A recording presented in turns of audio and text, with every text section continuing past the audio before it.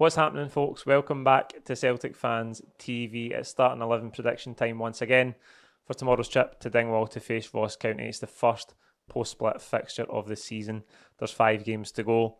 We need 10 points to secure the title, and every game that is left towards that is absolutely massive. Before we get into it, today you'll see a new addition to the studio behind me. It is a wooden Celtic badge, it is a lot better quality than the metal one that I just replaced. Um, I'll link up where you can get that below. It's Michael on Instagram at Heilan Turning, so I'll link it up. DM Michael, uh, get in touch with him if you want one, and you'll be able to order one on Instagram uh, through DMs. As I say, it's great quality. I'm so impressed with how it looks in the studio. The colour quality is brilliant. Gives that 3D effect much better than the metal cut one as well. So if you want to uh, get one yourself, if you've got a bar or a man cave, if you like, if you've got anything like that, um, click the link below, go and find Michael on Instagram uh, and get in touch. Obviously, we come into this game from Sunday's semi final. It was a defeat in the end. Those those results are always really difficult to take. Um, the performances in those games and the results are magnified. Always, particularly when it's a one off game like a cup tie where you go out of the competition. But I think the game is really tight. By no means did Celtic play um, at the highest level that, as they have done all season, um, as high a level as we have done at points this season. It wasn't a great performance. It was a bit scrappy the game. I thought Rangers probably edged it.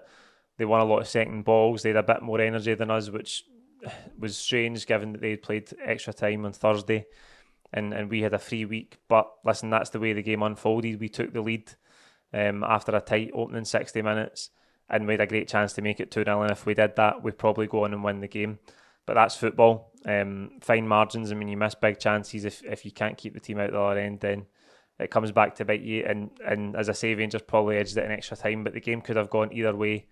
And I think there's just been a wee bit uh, too much uh, magnification of the result and the performance. And the team have been on an unbelievable run. The Celtic uh, squad this season, from where it's come from at the inception of this season to now, to go in that 34 game unbeaten run was incredible we can't win every game. And I know that sounds like a bit of a cop out, but it just seems like this season it was too good to be true that we could just go and win a treble. It's far too early in this team's evolution um, to go and have a domestic clean sweep, uh, given given the situation at the start of the season.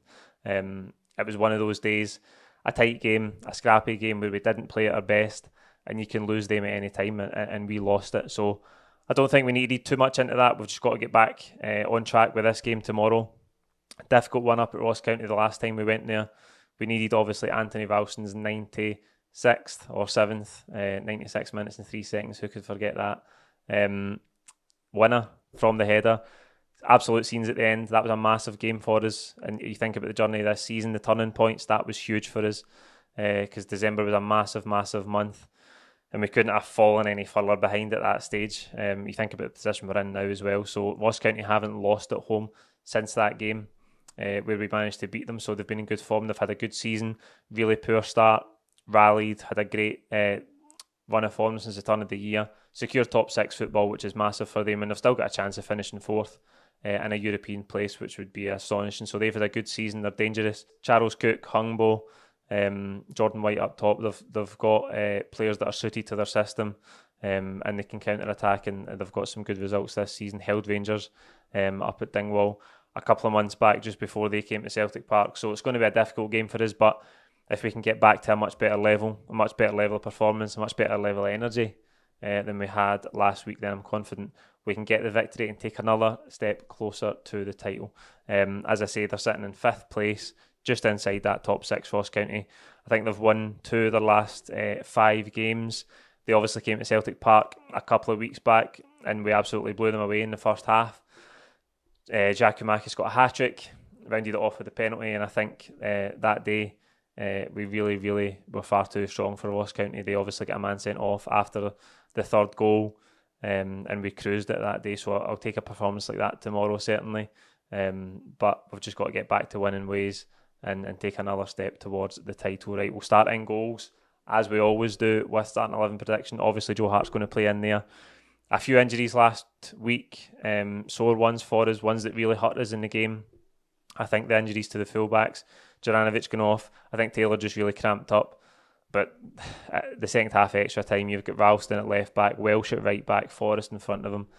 And I just thought getting into that period of the game, as I said in the full time reaction, like that was just really weak, and I thought that would that would pay for us, and it did because the the winning goal comes down that side, and Welsh and Forrest don't get back quickly enough to to stop the cross, and it goes in off Carl Starfelt. So I think that killed us. Ralston's going to have to play in this game because I fear that Juranovic is out for the rest of the season. There's only five games left. I think he's maybe, um, I think it was a hamstring, was it? A few people said after the game. I didn't see it back. Um, that's a blow for us because Juranovic has been really good, but Ralston this season has been excellent as well. So um, comes into this game, as I say, off the back, of the last trip to Dingwall, he got a huge winning goal for us. So full confidence in him to come in. The the centre halves will stay the same, obviously. Car, uh, Carter Vickers and Starfelt. Taylor, as I say, I think he just cramped up. He'll play at left back. I worry last weekend that Scales wasn't involved, and then all of a sudden we found ourselves in that position where Ralston has to play at left back, Welsh is at right back, um, and we look really weak. So that that left back area is a big one for us in the summer. Um, even if you think that, that Greg Taylor is a finished article and he should be the long term first choice Celtic left back, um, the players behind him just aren't good enough. They're just not a good enough level. Um, and we don't have enough depth there because we ended up in that situation last week and it cost us. Um, but that's what I think the back four will be. The midfield's a big one. Um, not really performing last weekend. I think Hatate and Rogic struggled to get going in the game. Rogic particularly was really, really poor. I think it will obviously be McGregor in the deeper position. I think we'll see some change. I think in terms of changing it from an attacking point of view, it's quite difficult in there um, because Hatate is the best balance between defence and attack that we've really got. Uh, what we hear about O'Riley and Rogic um, not being able to play together, they're a wee bit too similar.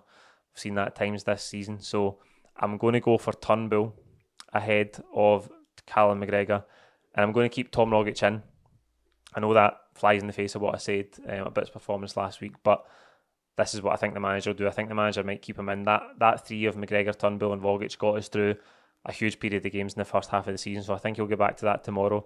Um, Hatate, interesting quotes this week about him adapting to life in Scotland to the intensity of the games, playing here, um, and that he struggled. I think he went away with Japan for, for maybe the first time to get his first game, and he talked about having to be in peak physical condition coming back from the long haul flight, and that's things we don't really see. We talk about it a lot, but none of us as supporters have ever really experienced that that travelling to the other side of the world and back and having to be in fe- uh, peak physical condition for the weekend.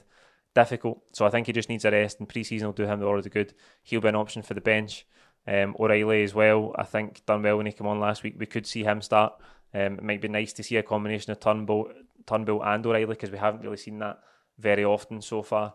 Um, that is one option the manager could take, but I've just opted for Rogic because um, I think that three in the first half of the season were really, really important for us. On the right hand side, I think it will be Jota. Uh, got to perform a lot better than he did last week. Again, a lot of overreaction as there always is in, in social media. Um, it seems like somebody's either the best player in the world and we need to sign them as soon as possible, or they're absolutely rotten and we shouldn't be signing them at any cost. um, there was a wee bit of that last week. A few overreactions to Jota's performance. He was poor. Listen, that happens. He, he didn't play well in the game. I thought he was wasteful him and Abada on both sides when they got in good positions, they were wasteful. Jota a wee bit predictable coming back on his right hand side far too often. Um, so he's got to raise his performance level for these last five games. I've full confidence that he can do that. Um, he's still a major part of how we play going forward, and he can be a huge step for us. He's just got to raise that performance level back to where it was a couple of months ago. On the left hand side, Daizen Maeda, who put in great shift the other week there, uh, sorry, last week against uh, Rangers didn't really get much to work with, but I, I, think in the first half he closed down really well, which we've come to expect from him. I think he'll play on the left hand side, and it's a big one through the middle because Giakoumakis is back fit. Uh, been training this week. The manager says he's available, so that's him and Kyogo both available. That hasn't happened too often this season. Kyogo came off the bench last week, and I've heard a few people saying he was he was posted missing, he was ineffective um, in the media and such like. I mean, I don't, I don't think he was, he was that bad at all. Really, um, the team around him not very good. I know he's been out a long time. He didn't have much to work with.